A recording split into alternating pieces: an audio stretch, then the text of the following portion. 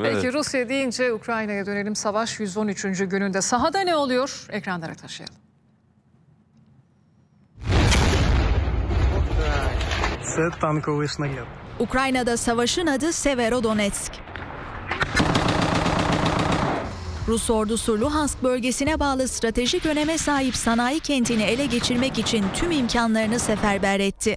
Mücadele haftalardır sürüyor. Kentin %80'i Rus güçlerin kontrolünde. Rusya'ya göre bu oran %97. Ukrayna askerleri her bir ev için savaşıyor. Sokak çatışmaları sert geçiyor. Luhansk valisine göre her gün onlarca Rus askeri ölüyor. Ancak Rus ordusu sayıca üstün. Askeri teçhizatı daha fazla. Ukrayna ordusunun düşmanı güvenli mesafeye itebilmek için uzun menzilli topçu sistemlerine ihtiyacı var. Tüm zorluklara rağmen Ukrayna ordusunun pes etmeye niyeti yok. Rusya'nın silah bırakıp teslim olmaları için verdiği ultimatom reddedildi. Azot kimyasal tesisi kentteki savaşın en kritik noktalarından biri. Burada yalnızca Ukrayna askerleri yok. Aralarında kadın, çocuk ve yaşlıların da olduğu 500 sivil tesisteki sığınaklarda bekliyor. Rusya fabrikadaki sivillerin tahliyesi için insani koridor açtıklarını duyurmuştu. Ancak tahliyelerin Ukrayna tarafından engellendiği ileri sürüldü.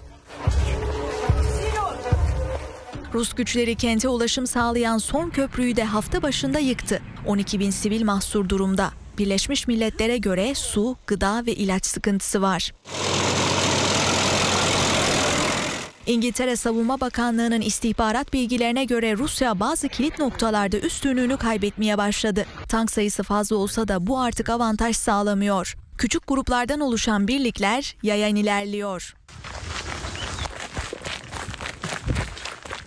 Sahada Ukrayna'yı da zorlayan pek çok faktör var. Amerika Birleşik Devletleri'nden tedarik edilen Javelin tipi tank savar füzeleri arızalanmaya başladı. Ukrayna askerleri silahı tamir edebilmek için 250 sayfalık kullanım kılavuzunu Google Translate yardımıyla çevirmeye çalışıyor. Gerekli teknik desteğe sahip değiller. Rusya Güvenlik Konseyi Başkan Yardımcısı Dimitri Medvedev Şahin söyleminden vazgeçmiyor. Ukrayna'nın dünya haritasından iki yıl içinde silinebileceğini söyledi. Amerika Birleşik Devletleri'nin ise bunu artık önemsemediğini iddia etti.